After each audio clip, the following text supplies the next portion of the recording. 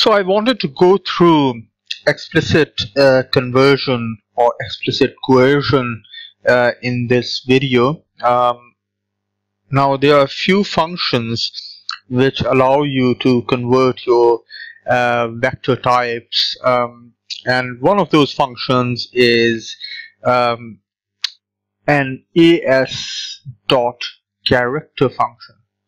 So if you pass um, a vector to this function it will uh, convert all the elements of the vector into character type character types. So let me just um, take this vector. Let me let me just get rid of this. Probably this can come beneath. I don't know maybe yes. Why not? Um, so what I can do is I so so I've created a vector of numeric type or integer type or what or and then I've assigned it to this variable.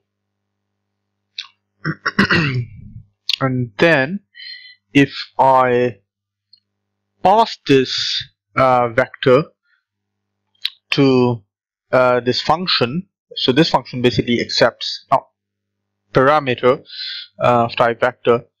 So now what I've done is that I've tried to convert it this uh, vector um, so that each element of the uh, vector uh, will become of type um, character. So now I can assign it to a new variable which is x and then I can simply print out x. So if I select all these lines and execute this line piece of code in fact let me just clear the console uh, and run it again. And now if I try to run it I can see that once it has uh, executed all these three lines of code it has printed out all the contents of the vector. And you can see that these are just these are not only numbers but numbers in double quotes. It just shows you the fact that each of the element is of type string or character.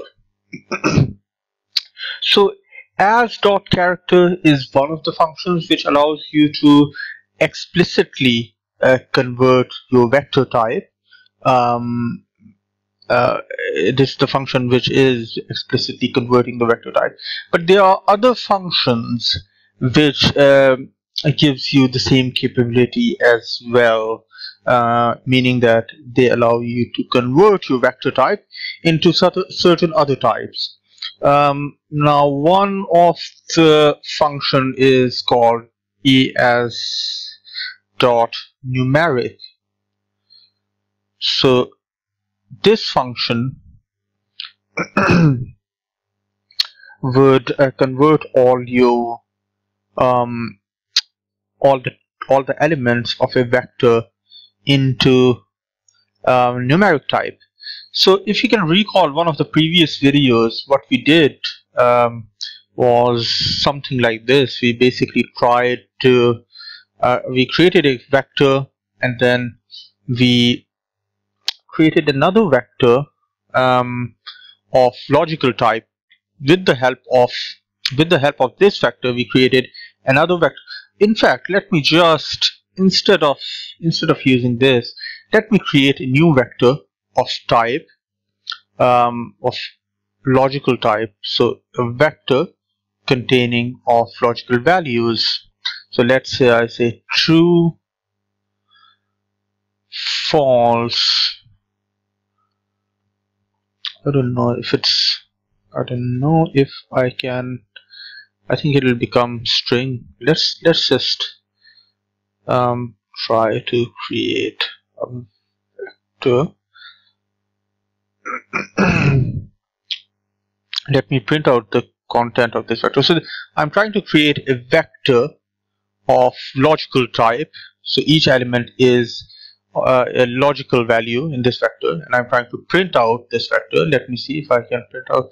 Fine. I, I think it's because I have to put the caps on over here. Yeah that that was the mistake. I was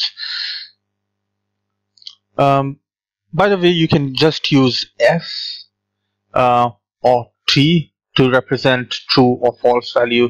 Uh, so if I if I now clear the console. If I now try to create this vector so I can see that the first value is true then false then false and then true. So so we've created a vector um, and all of the all of the elements of this vector is of logical type. Uh, now if we pass this vector to as dot numeric it will try to convert this vector into a type of numeric. So if I do something like this and let's say I I don't have to do this but I would like to just assign it to a variable. And let me clear console again.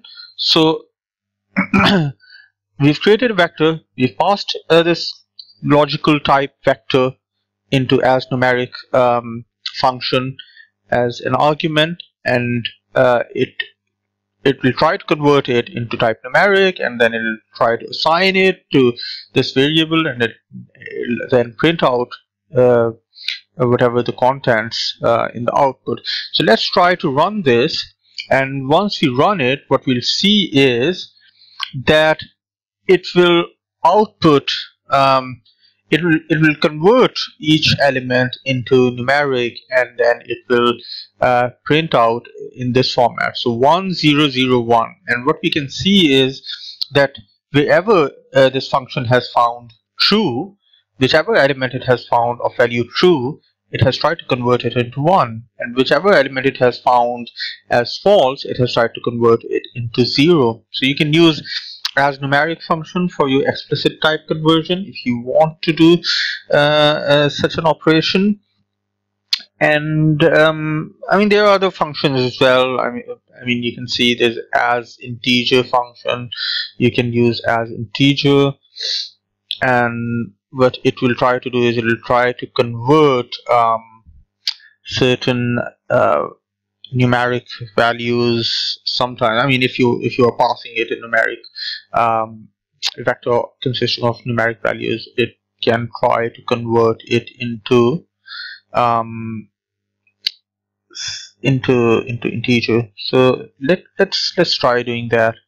So if I pass it something like 1.1 2.2 another value of 3.3 let's um, so what I'm doing is I'm creating a vector and straight away passing it to this uh, just just just to just as a shortcut. So what I've done is that I've created a constructor at the same time uh, when I was actually passing this uh, vector to as integer dot function and then straight away try to output in console. And what we can see is that it has converted all these values which were of type numeric into integer and you can see that these are integers 1 2 and 3 so it has ignored these uh, decimal places at all. So this was explicit type conversion uh, and you can use other other functions. There are other functions they are all of the same convention starting with as dot numeric as dot integer or as dot character. Uh, so you can use them